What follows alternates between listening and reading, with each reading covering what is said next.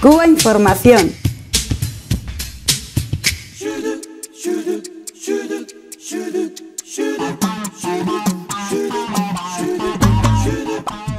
Y vamos a comenzar hablando de economía. La Asamblea Nacional en Cuba ha debatido importantes cambios eh, económicos y bueno, tenemos delante pues un discurso que dio Raúl en el Parlamento, el, Raúl Castro, el presidente cubano, en el Parlamento y vamos a, debatir sobre estos temas. Mm.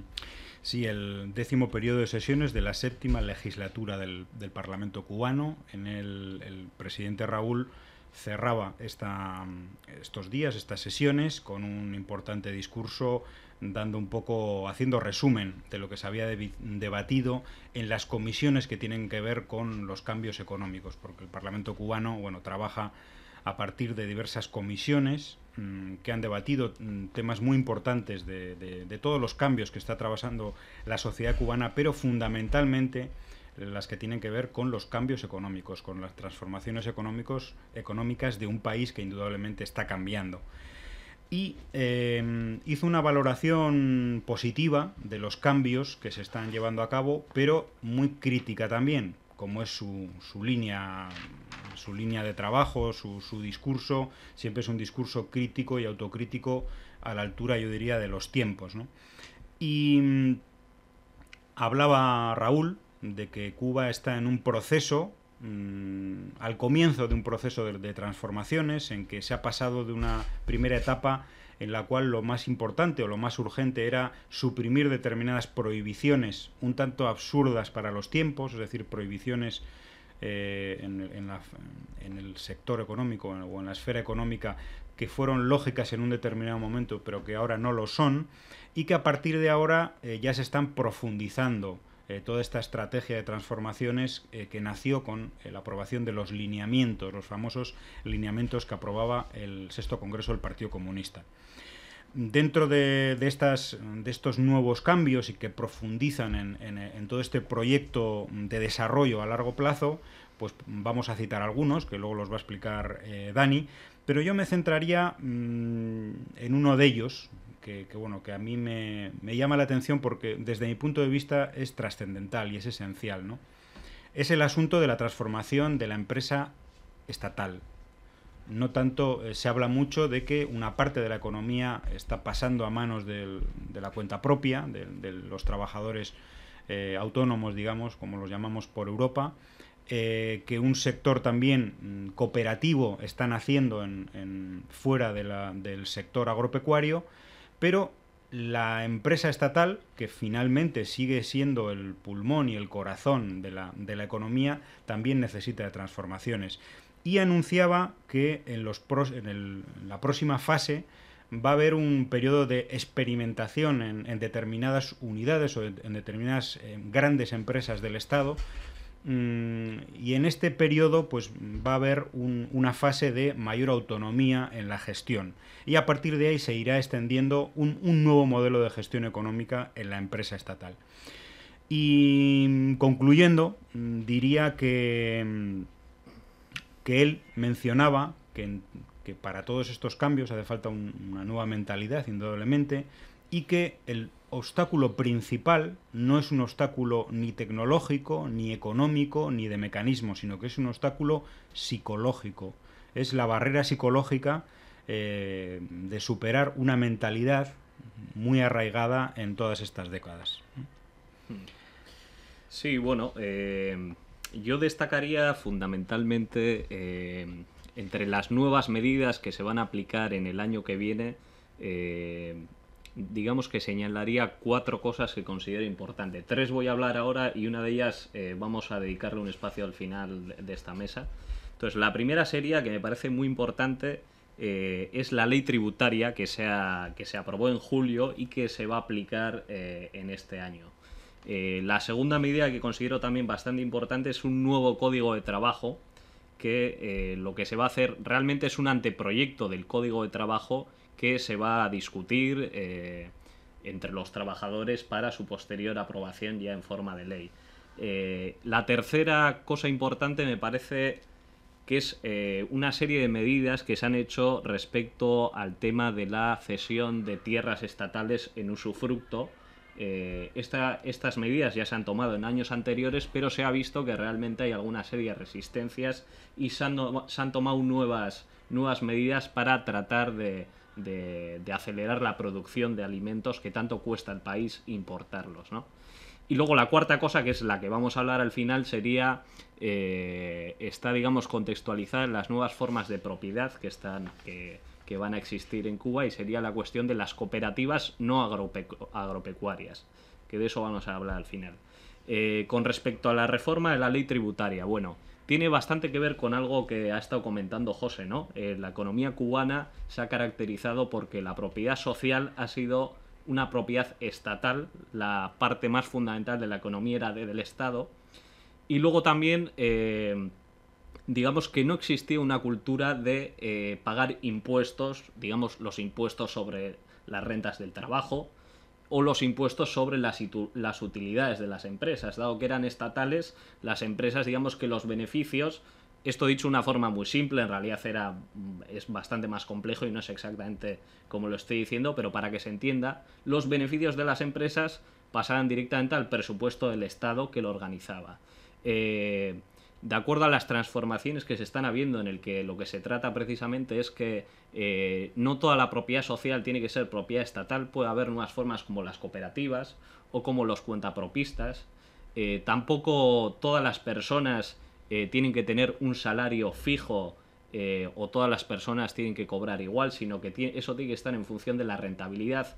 Digamos que eh, hay, hay digamos, una diversidad en cuanto a los ingresos de la población y también respecto a los beneficios que las diferentes formas de propiedad tienen. Entonces, en base a, a esas transformaciones que está habiendo, se tienen que hacer nuevas leyes en las que las rentas eh, se redistribuyan entre aquellos sectores que van a salir más beneficiados con las reformas y otros sectores que no van a salir tantos eh, tan beneficiados. Entonces, por eso es muy importante que haya una reforma en la que se graben los impuestos a las utilidades de los cuentapropistas, eh, a las empresas estatales que van a tener mayor autonomía, a las cooperativas agropecuarias y también las nuevas cooperativas y que paguen en función una progresividad, el que más gane que pague más eh, desde luego, y el que menos pague, que pague menos. Eh, como he dicho, va a haber una serie de impuestos que no me voy a meter a ellos. Eh, pero una cosa muy importante de esta ley es la gradualidad, o sea, la gradualidad que va a tener. Es decir, por ejemplo, se habla de los impuestos sobre los salarios. Pues obviamente se sabe que en Cuba los salarios eh, no tienen un nivel adquisitivo suficiente. Entonces la ley contempla que en este primer año 2013, por ejemplo, esa disposición, los impuestos sobre los salarios, no se va a aplicar. O por ejemplo, los impuestos sobre eh, en el sector agropecuario, dado que la producción de alimentos es una cuestión estratégica del país, pues que se considera que en el 2013 eh, a esos sectores no se les va a grabar impuestos como una forma de incentivar la producción de alimentos. Así que eh, esto eh, habría mucho más para comentar, pero esto me parece lo más importante. Eh, luego el, la nueva, el, anteproyecto del nuevo Código del Trabajo también es muy acorde respecto a estas transformaciones que está habiendo respecto a la propiedad. Por ejemplo, los cuentapropistas, el tema de los paladares. Ahora está permitido incluso que se contraten a gente. Bueno, esto es una nueva situación, ¿no? Que haya asalariados con unos límites, eh, pero que haya cuentapropistas, gente que tiene un restaurante que tenga asalariados. Bueno, esa situación hay que regularla y hay que actualizarla eh, con un nuevo código del trabajo donde se establezcan los derechos que tienen los trabajadores y las responsabilidades que tienen los empleadores. Eh, entonces, me parece muy importante que este anteproyecto se vaya a discutir entre la población, entre los trabajadores, eh, algo que contrasta fuertemente con otra serie de medidas, por ejemplo, las reformas eh, laborales de inspiración neoliberal que se implantan vía decreto en los países de la periferia de Europa a raíz de la crisis de deuda que existe en la, en, Europa, bueno, esta no se consulta de ninguna forma con los trabajadores. En Cuba se hacen unas reformas que son importantes, son de calado, pero se es consciente que no puede ser algo implantado desde arriba, sino que tiene que haber un proceso de debate entre los trabajadores que incluso puedan hacer eh, aportaciones o se pueda rectificar.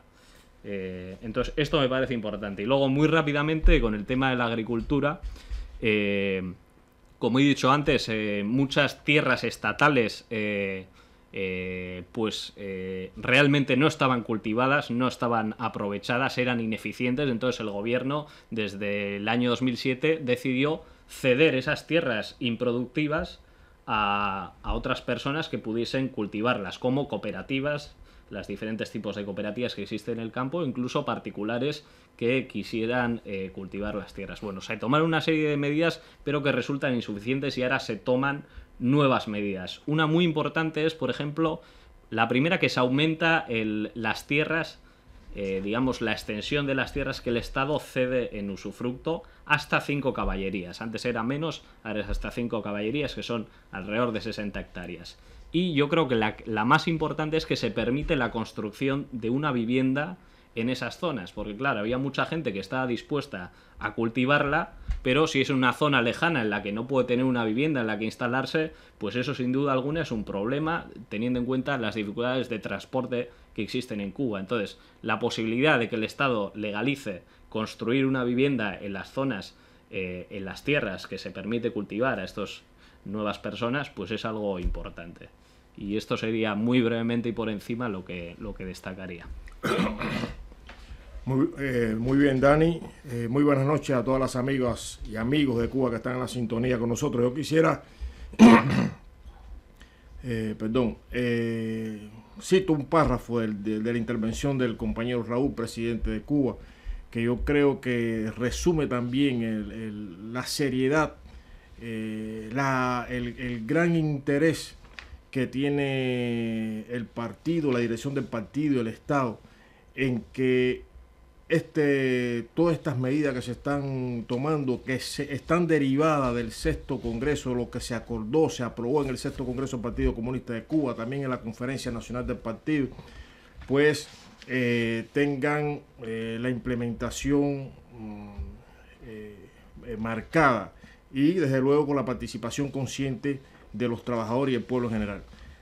cito textualmente, dice Raúl, Valoramos que la actualización del modelo económico cubano tras las medidas iniciales de supresión de prohibiciones y otras trabas para el desarrollo de las fuerzas productivas marcha con paso seguro y empieza a adentrar en cuestiones de mayor alcance, complejidad y profundidad, partiendo de la premisa de que todo lo que hagamos va dirigido a la preservación y desarrollo en Cuba de una sociedad socialista sustentable y próspera, única garantía de la independencia y soberanía nacional conquistada por generaciones de compatriotas en más de 144 años de lucha. Y a continuación habla bueno de la elaboración y conceptualización teórica del modelo económico cubano y dentro de bueno de las cuestiones fundamentales que plantea que bueno, yo creo que es, uno de los temas también candentes, ¿no? de, muy complejo, pero que tiene que estar en vía de solución. Como habla, eh, se plantea eh, el reordenamiento, bueno, no solo la creación experimental de cooperativas no agropecuarias. Dice, mientras continúa el análisis de las vías para superar el fenómeno de la dualidad monetaria con un enfoque integral. O sea, este es un aspecto que, mm, bueno, hubo una necesidad, el periodo especial trajo como consecuencia la necesidad del país de adoptar eh, esta medida que eh, lógicamente permitió eh, superar una situación económica difícil, pero a la vez creó este fenómeno, la doble moneda, el dólar o el CUC y la moneda nacional, el peso cubano. no obstante eso, la confianza de que la dirección del partido, el gobierno y todas las eh, o sea, los, responsables de, de, esta, de esta tarea están empeñados en buscar esa vía para solucionar. Una vez que se solucione esto, yo creo, eh, o sea, consideramos que, habrá eh, una dinámica muy importante en el mismo desarrollo económico de la fuerza productiva del país. Y otra cuestión también que señala, tú lo has mencionado muy bien, Dani, es cómo cada, en este proceso, cada aspecto que tiene que ver con la vida de, de la población, cada, eh, cada medida eh, trascendente como es lo que se está haciendo. Se están produciendo cambios importantes en, la sociedad cubana como, bueno, y, quizás los grandes medios eh, internacionales que van en otra dirección. Estos grandes oligopolios mediáticos no quieren reflejarlo, no quieren verlo porque realmente no, no está en correspondencia con sus intereses, los intereses que tienen para Cuba. Pero se están produciendo cambios importantes. Es un momento eh, también decisivo eh, en, la, en la reafirmación del modelo económico, social, el modelo socialista que hemos escogido la mayoría de los cubanos. Y, ese dato que tú, que tú has mencionado, eh, la, consulta popular sobre el anteproyecto del nuevo Código del Trabajo. Eso es de, un, de un calado, no solo importancia, un calado extraordinario y como eh, de acuerdo al escenario socioeconómico que se está, que se está eh, originando por estos cambios, ese, ese nuevo Código del Trabajo tiene que adecuarse y dar respuesta precisamente a todos estos cambios. Eh, o sea, se, se, diseñan las políticas eh, laborales, las políticas sociales, los derechos y deberes de los trabajadores, en fin, todo ello, todo ello para que todas las piezas estén debidamente engrasadas y, y encajadas y que den como resultado el éxito de estos cambios en el modelo económico.